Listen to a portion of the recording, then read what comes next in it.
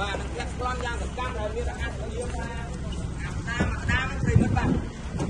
អត់ទេបងឃើញទឹកដៃឃើញគាត់ជីទៅឃើញគាត់មកពីណាបងឃើញគាត់ជិះម៉ូតូទៅផ្ទះហើយគាត់ជិះតែឯងហើយគ្នាខ្ញុំឃើញក៏គ្នាដេញខ្លួនឯងមកណាបាទដេញហើយគេថាចុះវាយចុះវាយហើយខ្ញុំរៀបចំចុះវាយខ្ញុំឃើញអាក្តាមវាលើកម៉ូតូគេទៅបាទគុំណោខ្ញុំអត់ចង់ទៅលើកម៉ូតូគេឈប់ទៅអត់បានអីវិញទេចុងក្រោយមានដៃជាប់ខ្នោះដូចខ្ញុំអញ្ចឹង ហើយខ្ញុំសុំទោសម៉ែដែលខ្ញុំមិនដែលសាប់តាមគាត់រត់ទៅកន្លងមកសុំទោសប៉ាម៉ាក់ខ្ញុំចេញទៅវិញខ្ញុំការខ្លួនហើយបន្ទាប់ពីប្លន់អឺជូនអឺឲ្យប៉ាម៉ាក់ថែរក្សាសុខភាពខ្លួនឯងហងកុំគិតពីកូនច្រើនពេកឥឡូវនឹងត្រូវបានកម្លាំងសមត្ថកិច្ចនាំយកទៅឲ្យប្រិមិត្តមកតតែដៃជាប់ខ្នោះបានទឹកភ្នែកអូនឹងឃើញតែស្ដាយក្រោយ បាទសំខាន់អាប្អូននិយាយថាបាទផ្ទះប្លន់គេមិននឹកស្មានថាដល់ថ្ងៃជាប់គុកក៏ប្រិមិត្តបាទបាទគាត់និយាយមួយយ៉ាងដែរបាទគាត់អត់ដែរនឹកស្មានថាខ្លួនឯងជាប់គុកទៅបាទតតែជាប់គុកបានទឹកភ្នែក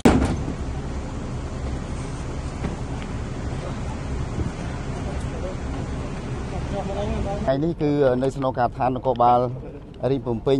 ក្រមការអនុញ្ញាតលោកពុះពោះពីសំណាក់អាយដាមឧត្តមសេនីយ៍ឯកជុននរិនអគ្គស្នងការរងនិងជាស្នងការនគរបាលរីកភ្នំពេញ យើងបានធ្វើការបង្ហាញមុខជនសង្ស័យសរុបចំនួន9នាក់ពាក់ព័ន្ធនឹងប្រព្រឹត្តបទល្មើសលួចមានស្ថានភាពទោសអំពើប្លន់ធាក់យកម៉ូតូអំពើឆក់យកទ្រព្យសម្បត្តិប្រជាពលរដ្ឋនិងពុនពងលួចអញ្ចឹងអឺយើងបានធ្វើការបង្ហាញនៅពេលនេះគឺពាក់ព័ន្ធនឹងបទល្មើសព្រហ្មទណ្ឌសម្រាប់អឺជនសង្ស័យជាមុខសញ្ញាក្មេងទំនើងផងអឺជាជនសង្ស័យដែលជាមុខសញ្ញាចាស់អឺធ្លាប់ធ្វើសកម្មភាពលួចធ្លាប់ធ្វើសកម្មភាពឆក់ ដែលយើងបានអឺធ្វើការបង្ក្រាបជាបន្តបន្ទាប់នៅថ្ងៃនេះគឺយើងបានអឺធ្វើការបង្ហាញជូនសម្រាប់ពីកិច្ចប្រតិបត្តិការរបស់កងកម្លាំងនៃស្នងការដ្ឋាននគរបាលរាជភ្នំពេញហើយកិច្ចការងារនេះខ្ញុំសូមបែងចែកអឺជា3នៃបទល្មើសបទល្មើសទី1គឺអឺពាក់ព័ន្ធនឹងការបង្ក្រាបអំពើប្លន់ធាក់យកម៉ូតូនៅខណ្ឌកំពូលដែលមានអឺលោកវរៈសេនីយ៍ឯកអឺហុងពិសិដ្ឋអធិការនគរបាលខណ្ឌកំពូលលោកមានវត្តមាននៅទីនេះដែលបានដឹកនាំកម្លាំងចុះស្រាវជ្រាវបង្ក្រាបក្រោយពីបានអឺ ទទួលព័ត៌មានបណ្ដឹងពីជនរងគ្រោះយើងធ្វើការស្រាវជ្រាវជាបន្តបន្ទាប់បានឈានទៅដល់មុនដំបូងចាប់បានមុខសញ្ញាជនសង្ស័យចំនួន2នាក់ហើយស្រាវជ្រាវជាបន្តបន្ទាប់ចាប់បាន3នាក់ទៀតចំនួន5នាក់នៅកំពូលហើយមុខសញ្ញាទាំងនេះគឺជាមុខសញ្ញាធាក់ប្លន់យ៉ាងសកម្មនៅស្រុកអង្គស្នួរខេត្តកណ្ដាលហើយក៏បានអឺជាមុខសញ្ញាធ្លាប់ឆក់នៅខណ្ឌកំពូលដែរអញ្ចឹងគាត់ធ្វើសកម្មភាពអឺប្លន់នៅខាងអង្គស្នួរធ្លាប់ធ្វើសកម្មភាពប្លន់នៅខាងកំពូលជាប់ព្រំទល់គ្នាអញ្ចឹងយើងបានធ្វើការបង្ក្រាបអឺ ជាក់ស្ដែងនៅពេលដែលអឺយើងបានធ្វើការស្រាវជ្រាវយ៉ាងយកចិត្តទុកដាក់ក្នុងការអនុវត្តនៃវិធានការបង្ការទប់ស្កាត់និងបង្ក្រាបអំពើអឺលួចឆក់ប្លន់ហើយទី2គឺករណីឆក់អញ្ចឹងអឺជនសង្ស័យចំនួន2នាក់នោះគឺយើងអឺធ្វើការបង្ក្រាបស្រាវជ្រាវអឺពាក់ព័ន្ធនឹងអឺគាត់បានធ្វើសកម្មភាពឆក់ទ្រព្យសម្បត្តិរបស់វិជាបរដ្ឋអឺ ដោយទាំងកបោបដោយទាំងអីមានទ្រព្យសម្បត្តិមួយចំនួនយើងបានអឺធ្វើការស្រាវជ្រាវហើយមុខសញ្ញា2នាក់នេះគឺជាមុខសញ្ញាធ្លាប់ជាប់ពន្ធនាគារហើយក៏ជាមុខសញ្ញាឆក់យ៉ាងសកម្មនៅក្នុងភូមិសារីភ្នំពេញដែលយើងបានអឺធ្វើការបង្ក្រាបជាក់ស្ដែងអឺសម្រាប់កងកម្លាំងនគរបាលព្រំប្រទានកម្រិតស្រាល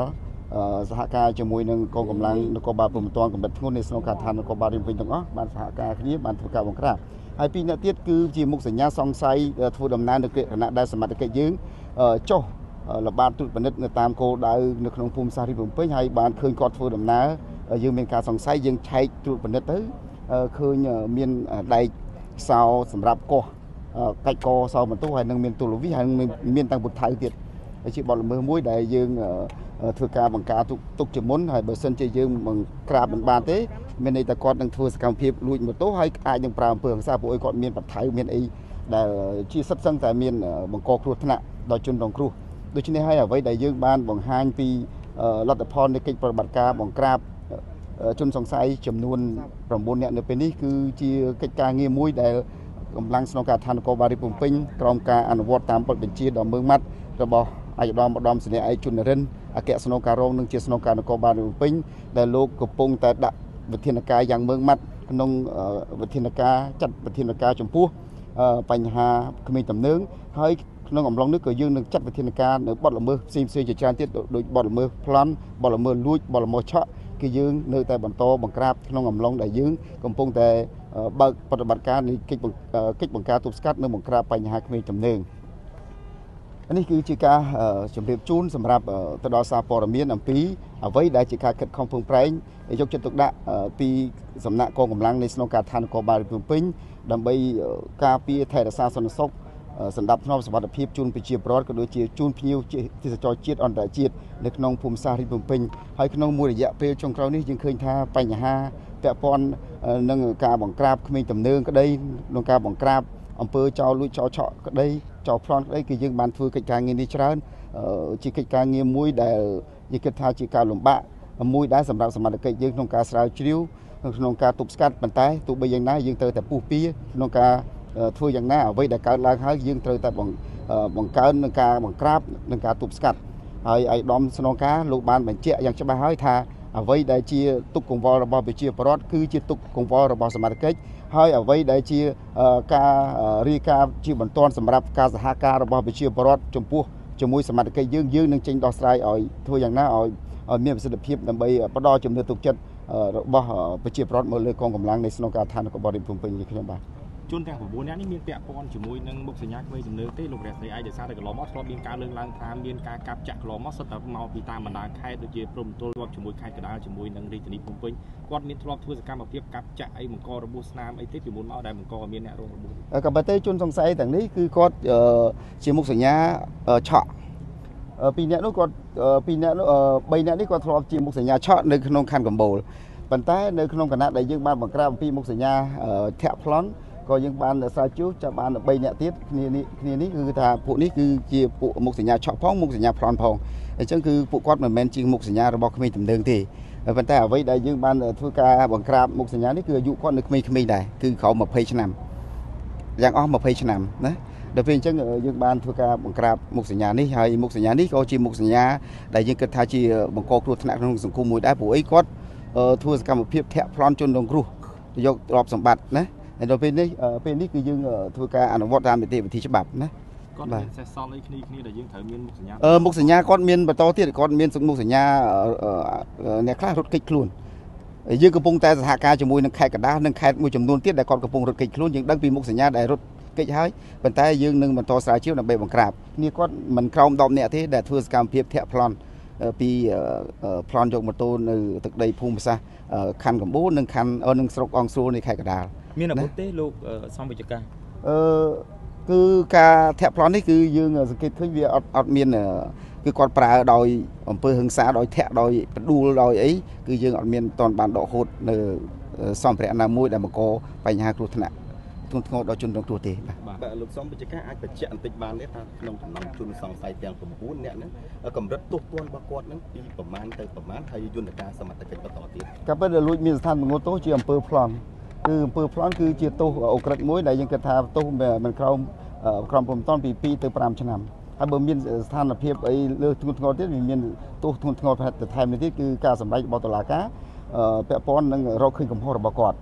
ហើយពាក់ព័ន្ធនឹងការអំពើលួចអំពើឆក់អំពើប៉ុនប៉ងឆក់អានឹងគឺជាបទល្មើសមួយដែលយើងគិតថាជាបទល្មើសប្រឆាំប៉ុន្តែយើងទោះបីយ៉ាងណាអំពើឆក់នេះក៏យើងចាប់ទាញតែជាបទល្មើសក្រិតដែរអានេះគឺការឆន្ទៈនុសិទ្ធរបស់តុលាការដែលលោកមានសិទ្ធិសម្រេចថារោគបានឃើញកំហុសកំណត់ណាគាត់នឹងអនុវត្តទៅតាមនោះបាទ សូមលទ្ធផលនៃប្រតិបត្តិការរបស់សមាជិកតាំងពីថ្ងៃទី23អាដងលោករស្មីឯកតាំងពីថ្ងៃ23ដោយសារយុទ្ធនាការនៃការបង្ក្រាបផ្ទៃជំនឿបូកជាមួយនឹងដែលយើងធ្វើសន្និសីទថ្ងៃនេះផងតើលទ្ធផលប្រមាណ6 7ថ្ងៃមុននេះហើយយើងទទួលបានលទ្ធផលអ្វីដែរបង្ក្រាបបានប្រមាណអ្នកដែរប្រមាណករណីដែរក្នុងប្រតិបត្តិការបង្ក្រាបផ្ទៃជំនឿរយៈពេលក្នុងរយៈពេលចាប់ពីថ្ងៃទី23រហូតដល់ថ្ងៃទី28យើងឃើញថាដែលយើងបានខាត់ក្មេងទំនើបនឹងសរុបចំនួន 48នាក់ដែលធ្វើសកម្មភាពចំនួន10ករណីចំនួន12ករណីអញ្ចឹងយើងមកដល់ពេលនេះយើងបានធ្វើការខាត់ខ្លួនជនសង្ស័យជាក្មេងទំនើងចំនួន48នាក់ដែលអ្នកខ្លះមានការកាប់ដោយអាវុធខុសច្បាប់ប្រើដាវអ្នកខ្លះមានការប្រើអំពើហិង្សាទៀត ដូច្នេះហើយឥឡូវជនសង្ស័យជាក្មេងទំនើងនឹងយើងបានកសាងសំណុំរឿងទាំង48នាក់នេះគឺយើងបានបញ្ជូនទៅកាន់តុលាការអនុវត្តទៅតាមនីតិវិធីហើយហើយកិច្ចការងារបន្តទៀតយើងនឹងបន្តធ្វើការស្រាវជ្រាវហើយនឹងបន្តកំណត់មុខសញ្ញាជនសង្ស័យជាក្មេងទំនើងដើម្បីមានវិធានការបង្ការទប់ស្កាត់និងបង្ក្រាបបន្ថែមទៀតដោយតាមបណ្ដាខណ្ឌនីមួយៗដែលយើងបានធ្វើការផ្សព្វផ្សាយគឺយើងកំពុងតែយកចិត្តទុកដាក់ទី1អឺយើងចាប់ដើមឆែកឆេរត្រួតពិនិត្យជារដ្ឋបាលនៅក្នុងសាលារៀនតាមរយៈការសហការជាមួយនឹង នាយកសាលាយើងឃើញថាការចុះត្រួតពិនិត្យនេះឃើញសកម្មភាពរបស់ក្មេងទំនើងក្នុងរយៈពេលចុងក្រោយនេះហាក់បីដូចជាមានការថយចុះអញ្ចឹងមានការថយចុះយើងសង្គមជឿជាក់ថាក្នុងរយៈពេលយ៉ាងយ៉ាងច្រើនមួយសប្តាហ៍ទៀតបញ្ហាក្មេងទំនើងនឹងគឺមានការថយចុះច្រើនជាទីបំផុតតែម្ដងហើយយើងប៉ាន់ស្មានថាក្នុងរយៈពេលដែលយើងអនុវត្តចិត្តមួយអាទិត្យនេះគឺថាវាកាន់កាន់តែមានការថយចុះហើយណាបាទ48នាក់នោះយើងអត់រាប់បញ្ចូលទាំងអ្នកដែលធ្វើសន្និសីទថ្ងៃនេះអត់មានពាក់មានមានបញ្ចូលក្នុងនឹងដែរ48នាក់ហ្នឹងណាបាទបាទបញ្ចចូលមានដែរសញ្ញាគ្រប់ ទាំងអស់នេះបាទជាច្រើនជនទាំង48នាក់យើងអាចនិយាយបានថាជាយុវជនជាសិស្សឬក៏ជាអ្នកដែលបន្តមុខរបរអឺភាគច្រើនគឺទី1អឺជាសិស្សអឺទី2មុខសញ្ញាមានប្រើប្រាស់គ្រឿងញៀនទី3មុខសញ្ញាអឺជាកម្មករអឺទី4មុខសញ្ញាមិនប្រកបប្រកបមុខរបរមិនពិតប្រាកដ ដូច្នេះហើយអឺមុខសញ្ញាទាំងនេះយើងកំពុងតែដាក់គោលដៅនិងដាក់មានវិធានការដើម្បីយើងតាមដាននិងកំណត់ហើយអ្វីដែលជាមុខសញ្ញារបស់ក្មេងទំនើងយើងបានកំណត់ខ្លះមួយចំនួនហើយប៉ុន្តែអ្វីដែលយើងអឺជាក់ស្ដែងបន្តទៀតយើងតាមដានសកម្មភាពរបស់គាត់តើគាត់អឺធ្វើសកម្មភាពឬមិនធ្វើសកម្មភាពក្នុងអំឡុងដែលសមត្ថកិច្ចយើងកំពុងបើកកិច្ចប្រតិបត្តិការទប់ស្កាត់នៅក្រៅក្មេងទំនើងបាទបាទជនប៉ុណ្ណឹងចុះបាទជនទំនើងទាំងនោះសុទ្ធតែមិនមានប្រើប្រាស់គ្រឿងញៀនឬក៏ភាគច្រើនគឺគឺមានអឺខ្លះមានខ្លះណាអត់ណា បាទអរគុណច្រើនណាប៉ុណ្ណឹងចុះក្មេងទំនើងទាំង48នាក់ហ្នឹងក្នុងនោះបត់ល្មើសទាំងអស់ហ្នឹងមានប្រើប្រាស់អាវុធទេអឺដូចជាកំភ្លើងឯងលោកវត្តអឺដូចជាអត់អត់មានទេគឺគឺទីមួយគាត់ប្រើប្រាស់តែដាវកបិតទេណាហើយឬមួយក៏អឺដុំថ្មដុំអីទេកំភ្លើងអត់តមានទេណាអរគុណច្រើនបាទប៉ុណ្ណឹងចុះណាអរគុណណាគុណច្រើនបងសំវិជ្ជការបាទ